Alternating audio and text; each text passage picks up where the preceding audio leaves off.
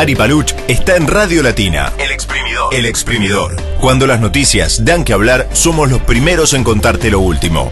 De lunes a viernes, 6 a.m. y 6 p.m. El exprimidor. El exprimidor. El diario más escuchado.